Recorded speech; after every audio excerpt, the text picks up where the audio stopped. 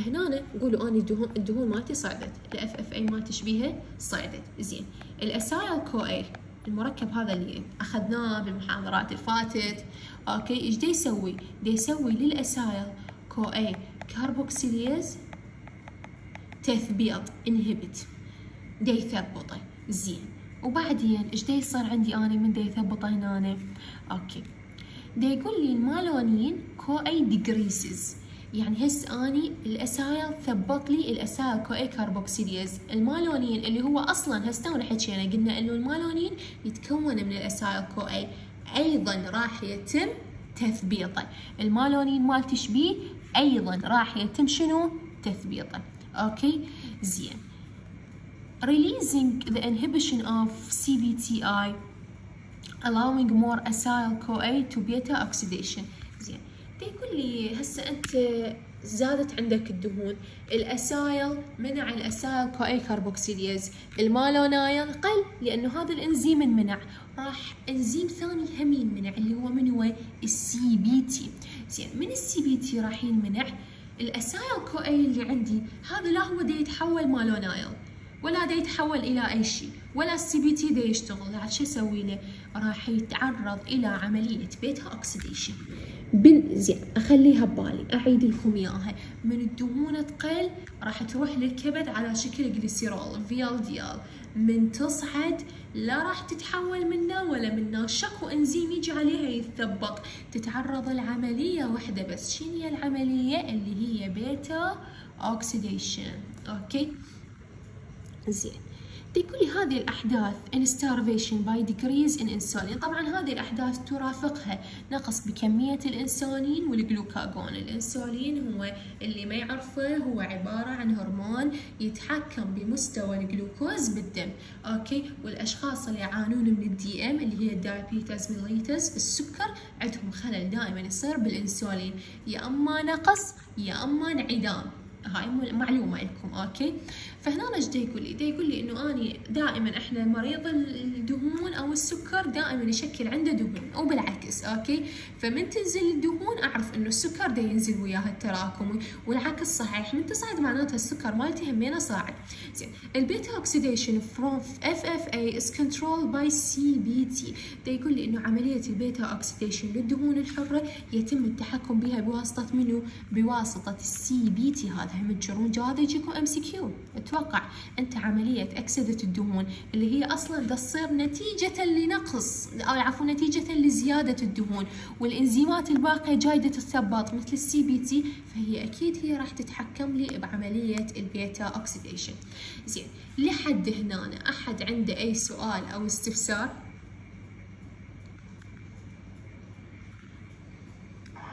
لا دكتور لحد ما واضح. بس واحدة من الطالبات جاي تكتب في الجروب تقول الشاشة ما تطلع يم. الشاشة شو أسوي؟ زين هي تطلع يمكم؟ قول لها طلعي من الشاشة موجودة ولا موجودة؟ زين قول لها طلعي من ال meet ورجعي فوتي. قلت لها تقول نفس الشيء. قول لها عاد انتظري التسجيل ما طول هواي بس إحنا نكمل يعني ينزل بالوحدة بالزايد.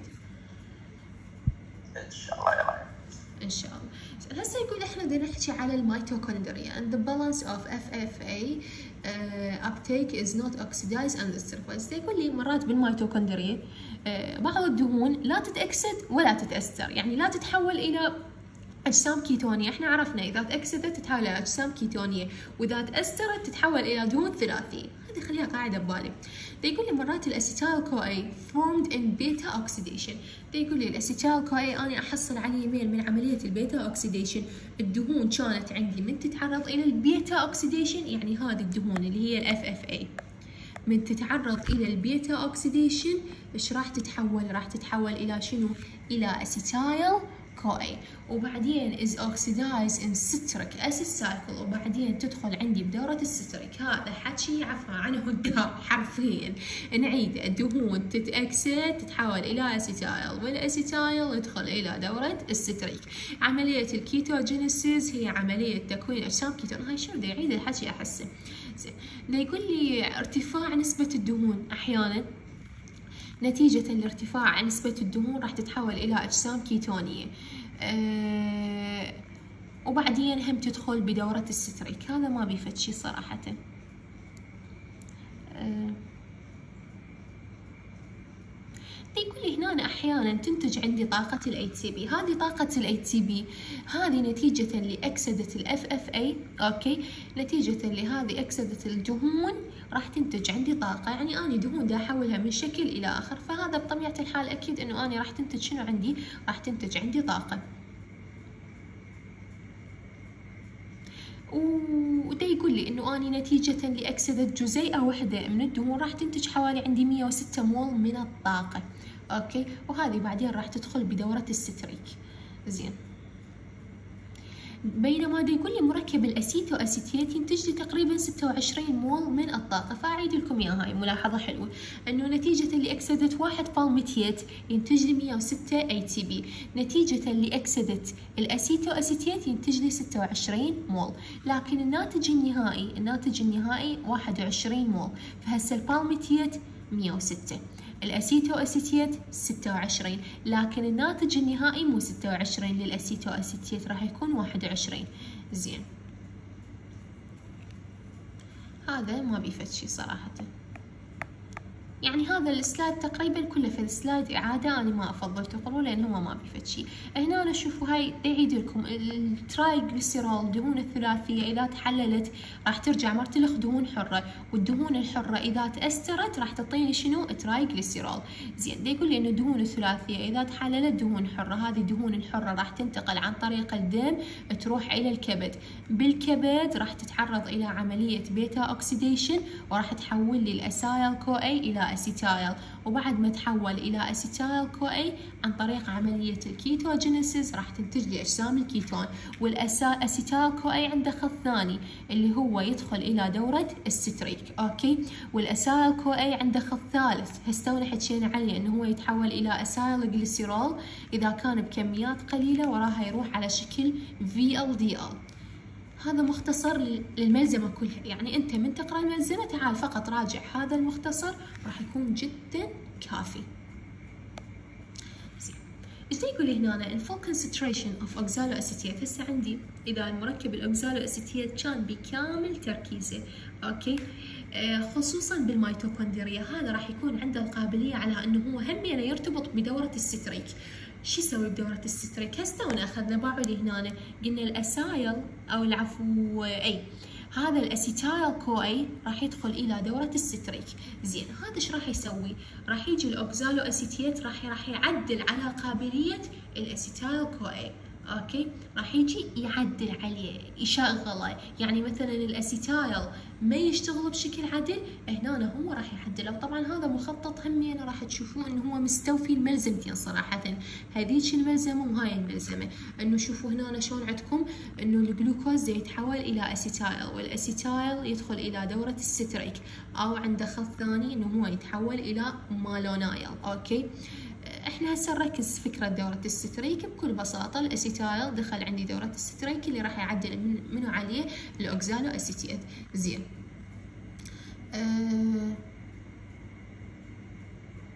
يقول لي إنه هذه العملية تزيد بسبب وجود NADH وال NAD. أه وأيضا هذه العملية ممكن تزيد بسبب زيادة ال beta oxidation. ليش؟ بسبب زيادة ال beta oxidation. لأن عملية ال beta oxidation هي العملية اللي جاية تحول لي ال acyl إلى acetyl وهو ال acetyl اللي راح يدخل عندي بدورة الستريك. زين. ولذلك من تزيد عندي نسبة ال acetyl راح تزيد وياها نسبة ال glucogenesis ال gluconeogenesis اللي هي عملية تصنيع الجلوكوز من مصادر غير شنو؟ غير الكربوهيدرات. فهسه انتو هيك تخيلوها وياي غمض عينك وتخيلها وياي. زادت عندي ال beta oxidation راح يزيد تحويل ال acyl إلى acetyl وتزيد دورة الستريك. وكذلك شنو هم راح تصير عندي؟ زيادة بعملية تصنيع الجلوكوز. زين. إذا انخفضت نسبة الجلوكوز بالدم إيش راح يصير؟ Activation of pyruvate carboxylase which catalyze conversion pyruvate to oxaloacetate.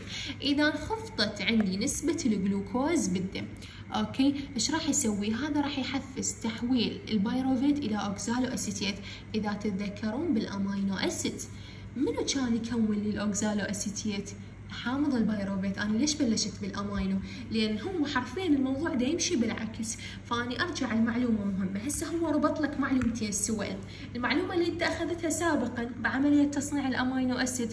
إنه ال pyruvate يتحول إلى oxaloacetate. هنا أنا ضاف لك عليها معلومة. قال لك منو اللي يحفز هذا التفاعل؟ انخفاض الجلوكوز بالدم. دي يحفز تكوين ال pyruvate إلى oxaloacetate. okay؟ منو اللي يساعد هاي العملية أيضا؟ بالإضافة إلى انخفاض الجلوكوز اللي هو ال acetyl CoA مركب ال acetyl CoA okay؟ فانخفاض الجلوكوز يساعد على تحويل ال pyruvate إلى oxaloacetate وبمساعدة ال acetyl CoA زين.